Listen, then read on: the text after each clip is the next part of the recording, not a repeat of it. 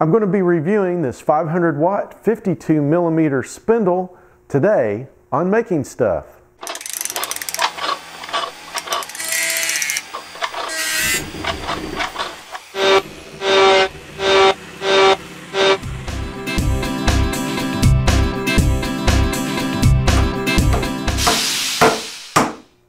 So if you've been following the video series I've been doing on the mostly 3D printed CNC machine, you know I've been waiting for a spindle to arrive in the mail. Well, Banggood.com was kind enough to send me a spindle to do a review on. Now, they didn't pay me to do this review, and this is my 100% honest opinion on this spindle. So let's start things out by checking out what comes in the box. So inside the box first, it looks like we have a motor controller and that's what it appears to be. And this motor controller will take 110 to 120 volts input and the output is DC voltage uh, 0 to 100 volts. So doesn't look like there's much to it. Uh, this is where the power goes in. This is where the motor hooks up. It looks like they've already put a jumper here for uh, on off and then there's also a potentiometer here, and this would control the speed of the motor, or the spindle actually. So next, let's dig down in here a little bit deeper. And here we have the spindle, and it looks like it's packed pretty well. And it has a clamp on it. And I'm going to take these bolts here and get them out of the way. But here, here's the spindle. It is air cooled, so it has looks like a, some type of fan or squirrel cage type fan on the top. Then on the bottom, we've got the collet, and then it has some also some mounting holes here on the bottom. So I guess you could use these mounting holes instead of using this bracket here. But uh, first impression is it, it seems to be built pretty well. It's got some pretty good weight to it. It doesn't appear to be cheaply made. Uh, it does seem to be very well put together. So let's take this bracket off here and let's get things all wired and hooked up and put this thing to the test. So before I hook this up, I just wanted to put it on the scale here and show you guys that uh, this, this has got some good weight to it. it. It feels like it's very well made. So I'm to put it on my scale and it is 32 ounces, which is right at two pounds, which also translates to 923 grams. So this is this has got some good weight to it. It feels like it's very well made. It also comes with this bracket and it is uh, machined aluminum, it appears to be. And it weighs 290 grams which is 10 ounces. So uh, this, this seems to be a very well made part as well. To mount the spindle to the Z-axis on the MPCNC, I'm going to be using these 3D printed brackets that I downloaded from Thingiverse, and I will put a link to this in the description. But it's already got a 52, 52 millimeter cutout and a back that'll mount right up to the z-axis on the MPCNC machine. So let me get that part hooked up. And here it is all hooked up and I decided before I put a bit in there and do some cutting with it, I put a little piece of reflective tape on there for my tachometer. Let's crank it up and see what kind of speed we can get out of this at max speed.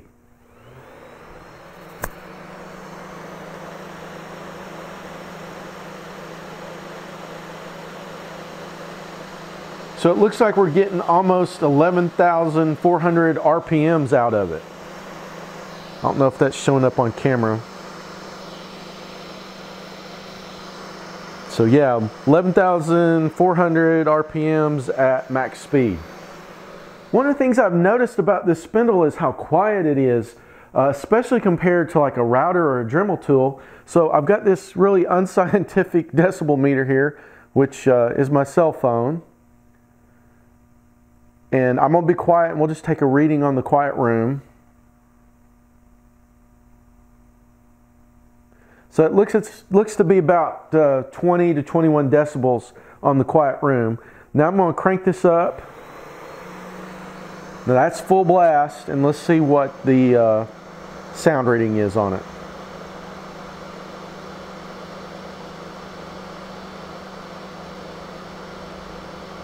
So it looks like it wants to hover around 40 decibels. That's not bad at all. This is a really quiet spindle. I've got a bit all loaded in the spindle and ready to go, and I didn't realize this until I went to actually put a bit into the spindle, but it doesn't come with any wrenches. So I had to go and get a 13 and a 17 millimeter wrench out of my toolbox so that I could install the end mill into the collet. Now, also another thing that I noticed is that it only comes with one collet, and it's an ER11 collet, and it comes with the three millimeter insert or collet, whatever. I, I don't know the correct terminology, but uh, I just so happen to have some eighth inch end mills, and they are 3.175 millimeters, and it actually fit into this collet. So that's one thing to keep in mind is if you order one of these, you're going to have to get you a set of collets. And I've looked online, and you can get an ER11 collet set for around 15 to 20 dollars. So if you're going to use anything other than three millimeter end mills or 1 8 inch end mills, you're going to have to also get you a collet set to go with this spindle. One of the things I want to do before I start running some G-code on here is I want to get a base temperature reading. So it's 51.4 degrees Fahrenheit. So that gives me my base reading and then I'll come back and I'll measure this after it runs for a while.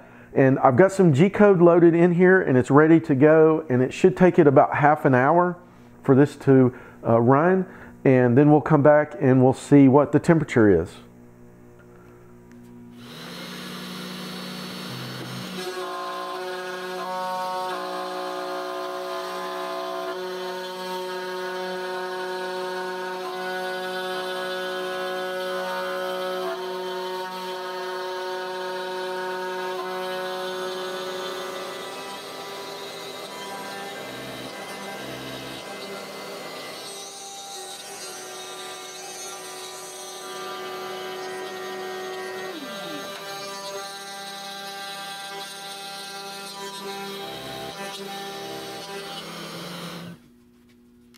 All right, so I did let that run at full speed for, it says on the LCD, a total of 28 minutes and 7 seconds.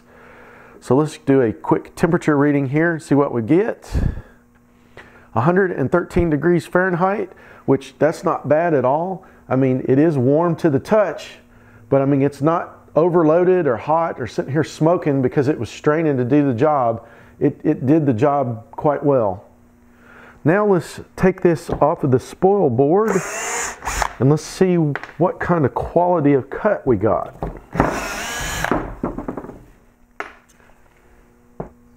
And it looks like it did a pretty good job.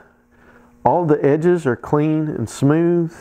The top, you can see a little bit of the milling marks, I guess, going like this, this direction if you turn it in the light the right way. Now it is a little fuzzy on the sides and also right here.